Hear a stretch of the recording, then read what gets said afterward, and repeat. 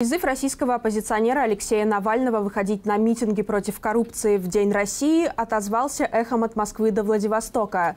Число задержанных превышает полторы тысячи человек. Сам Навальный получил 30 суток ареста, а Вашингтон и Брюссель потребовали освободить активистов.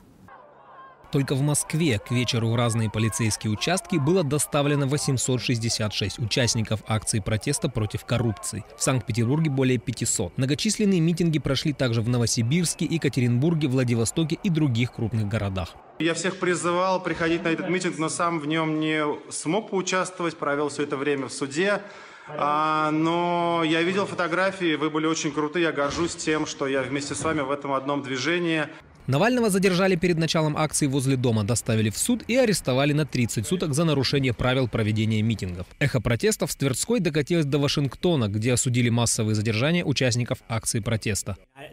Соединенные Штаты решительно осуждают задержание сотен мирных демонстрантов по всей России, которые произошли 12 июня. Задержание мирных демонстрантов, наблюдателей за соблюдением прав человека и журналистов является оскорблением основных демократических ценностей. Мы будем следить за ситуацией, и мы будем призывать правительство России немедленно освободить всех мирных демонстрантов. На разгон акции протеста отреагировал и Евросоюз. Внешнеполитическая служба ЕС заявила, что, цитата, «задержание сотен мирных демонстрантов и насилие, применяемое против них российскими властями в Москве, Санкт-Петербурге и других городах по всей стране, сегодня угрожает основополагающим свободам выражения, ассоциаций и собраний Российской Федерации». Следственный комитет России сообщил о возбуждении двух уголовных дел против участников протестов. Одно за распыление слезоточивого газа в глаза сотруднику ОМОНа в Москве, второе в Санкт-Петербурге, якобы за удар полицейского по лицу. Против обоих применена статья «Применение насилия в отношении сотрудника правоохранительных органов». Сотни и сотни задержанных, прорванное оцепление, распыление перцового газа на Пушкинской площади в столице.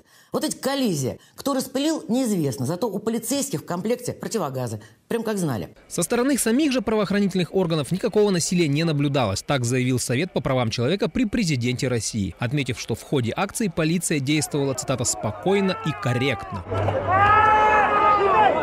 В составе группы силовиков, спокойно и корректно разгонявшей акцию протеста, был замечен бывший начальник киевского подразделения МВД «Беркут» Сергей Кусюк. В Украине он разыскивается по подозрению в причастности к массовым убийствам участников Майдана.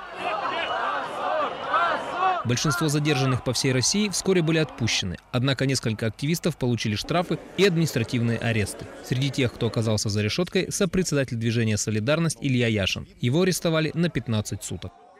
Игорь Винявский, Белсад.